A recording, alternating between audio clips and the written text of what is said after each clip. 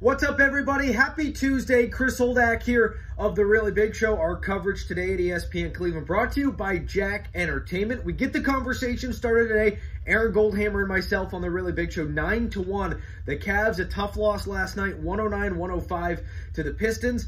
Got outscored by 15 points in the first quarter. That's always tough to come back from in the NBA. They've dropped a couple of easy ones here as of late. I should say winnable games, not necessarily easy. For all of you hoping that they make the play-in tournament, got to get to the 10 seed. They're now four games back of that to try to get into the postseason. Off day today for the Cavs. Tomorrow night against the Bulls, another gettable game. Then the conversation shifts today. Cleveland Browns Daily, 1 to 3. Bo Bishop and Nathan Zegura. We are nine days away from the draft here in Cleveland. What's the latest we're hearing about what the Browns will do with the 26th pick? They have that answer for you. Then in the afternoon, Emmett and Gerard, the next level. Matt Fontana, ECT. The Indians in action today against the White Sox.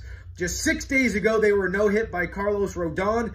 Well, the Tribe offense having a chance at redemption as they take on the White Sox and Rodon a little bit later today as the offense tries to get a little bit of redemption. Busy day here at ESPN Cleveland. It's all brought to you by Jack Entertainment, Ohio's gaming company.